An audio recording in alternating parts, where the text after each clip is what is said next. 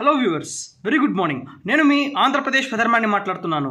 ఈరోజు మనకు ఆంధ్రప్రదేశ్ రాష్ట్రంలో అదేలాగానే తెలంగాణ రాష్ట్రంలో ఏ విధంగా మనకు వర్షాలు నమోదయ్యే అవకాశాలు ఉంటున్నాయి? దాంతోపాటుగా రానున్న పది రోజుల దాకా మనకు వర్షాలు ఏ విధంగా ఉండే అవకాశాలు ఉన్నాయి అన్న విషయం గురించి ఈ వీడియోలో మనము మాట్లాడుకుంటామండి. ముఖ్యంగా మనం తీసుకున్నట్లయితే ఈరోజు మనకు తెలుగు రాష్ట్రాల్లో ఉరుములతో కూడిన వర్షాలు ప్రత్యేకించి మనకు నమోదయ్యే అవకాశాలు ఉంటున్నాయి. ఎందుకంటే గత మూడు నాలుగు వీడియోలో చెప్పినట్లుగానే బ్రేక్ మాన్సూన్ అనేది కొనసాగుతోంది. దీనివల్ల మనకు రాయలసీమ జిల్లాలో వర్షాలు పెరుగుతాయన్నాను. సరిగ్గా అదేలాగానే ఏమంటే నిన్న మనకు అనంతపురం దాంతోపాటుగా సత్యసాయి ప్లస్ మనకు కర్నూలు జిల్లాలోని పలు భాగాలు దాంతోపాటుగా అన్నమయ్య జిల్లాలోని పలు భాగాలతో పాటుగా చిత్తూరు జిల్లాలోని పలు భాగాల్లో మనకు వర్షాలు అయితే కురిసినాయి. దాంతోపాటుగా ఈ రోజు కూడా ఏమంటే సిమిలర్గా నిన్న ఏ విధంగా అయితే కొనసాగిందో ఈ రోజు కూడా మనకు అదే జిల్లాల్లో మనకు వర్షాలు ఉంటుంది. కానీ కడప దాంతోపాటుగా నంద్యాల దాంతోపాటుగా తిరుపతి నెల్లూరు ప్రకాశం జిల్లాల్లో తక్కువగా వర్షాలు నమోదయ్యే అవకాశాలు కనిపిస్తున్నాయి. అంటే అక్కడక్కడ వర్షాలు ఉంటుంది కానీ తక్కువగా మనకు వర్షాలు ఉండే అవకాశాలు ఈరోజు మనకు కనిపిస్తుంది.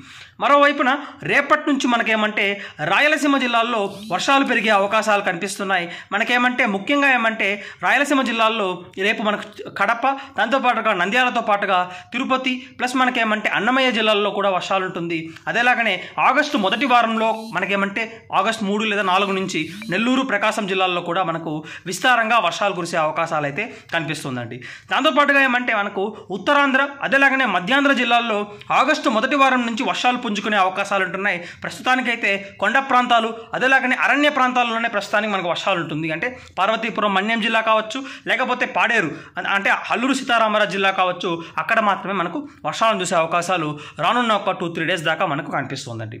మరోవైపున తెలంగాణ రాష్ట్రంలో ఏమంటే ఈ రోజు రేపు మనకేమంటే ఉత్తర తెలంగాణ జిల్లాల్లో మనకు వర్షాలు ఉంటుంది. ఉత్తర మధ్య తెలంగాణ జిల్లాలో ఆదిలాబాద్ కొమరంభీం అస్ఫాబాద్ నిర్మల్ నిజామాబాద్ జనగామ దాంతోపాటుగా ములుగు పెద్దపల్లి కరీంనగర్ దాంతోపాటుగా ఏమంటే మనకు సంగారెడ్డి కావచ్చు లేకపోతే మనకు హైదరాబాద్ కావచ్చు లేకపోతే మనకు రంగారెడ్డి జిల్లా కావచ్చు వికారాబాద్ జిల్లా కావచ్చు మనకు రానున్న ఒక టూ త్రీ డేస్ దాకా ఏమంటే వర్షాలైతే ఈ పక్కనే ఉంటుంది. అంటే మనకు ఉత్తర అదేలాగనే మధ్య తెలంగాణ జిల్లాలో ఉంటుంది.